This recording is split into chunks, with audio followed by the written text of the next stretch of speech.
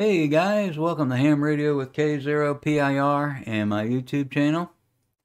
So do you have a couple of radios hooked up to your computer and you keep getting the USB audio codecs mixed up?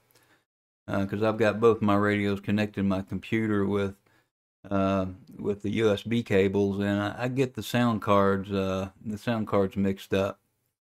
Let me show you how I, I fix that.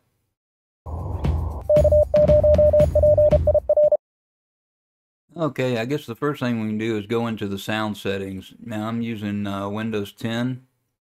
I'm going to go down here and hover my mouse over the speaker and then right click on it.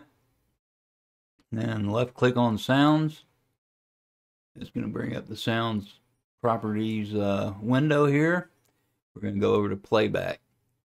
And uh, I've already got it named, the ICOM 7610, that's a USB audio codec, and that's on 3 and then uh, the K3S USB audio codec. And that's on four. So let me show you how I change the name of it. I'll just select it and then go to properties. And then just type in uh, type in the, the name that you want.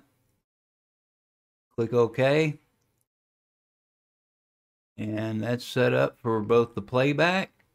You have to set them up each. I'll have to do this one. I had to do that one go over here to the recording tab. I do the same thing there and there. I can uh, I can rename this one here.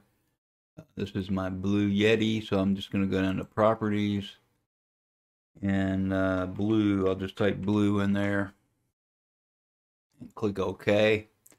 And so I, have got that uh, a little bit more detailed, and uh, that does help.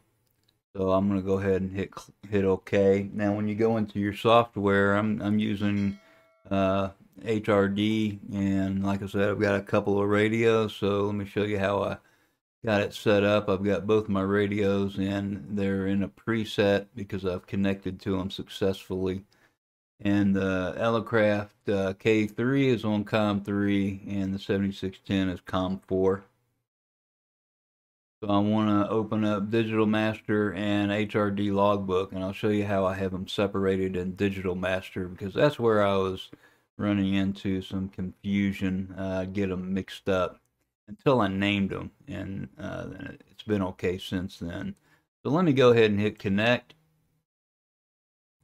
And Digital Master 780, I went ahead and I set up another identity or I've got three identities, one for the K3, one for the 7610, and then the main. So I'm going to select, select the K3. That's the radio that I've got on. And it's going to open up uh, DM780, and you'll see up here the input is the K3S microphone. The output is the K3S speaker. So I'll show you in program options. Go over to sound card and uh, there I just selected the appropriate one. I'm on the K3 right now, so I selected it, closed it out. Now, uh, when I change over to the ICOM 7610, I'll show you what I do. Let's go ahead and close all these out. So that was the uh, that was the K3. I'll power that off. Power on the 7610. Switch the antenna over and go to connect. Got the 7610 here, and I want to open up the Digital Master and HRD logbook. Go ahead and click connect. And then let's go over to this identity. Click continue. And you'll see the uh, radio pops up correctly uh, in the over here the radio pane uh, it's uh, the 7610 and uh, unfortunately it does uh, go back to the last used sound card. So uh, I thought that the identity would fix that but evidently it doesn't. So I have to go back in and change it each time. So let's do that. Go back into the sound card and I'm on the 7610 but it makes it real easy. 7610 and I can close it out and you see it all started up real good I'm on the wrong uh, frequency. Let me go down to a PSK. I'm on a PSK 31, so let's look for a frequency uh, 20 meters. Okay, so there you go. I wonder if that's a glitch in Digital Master 780 or not. Uh, maybe you just can't uh, set up different sound cards because when I uh, exit out, now let me go ahead and hit restart and it'll ask me for an identity. I'm going to hit the K3 and let's see what it brings up for a sound card.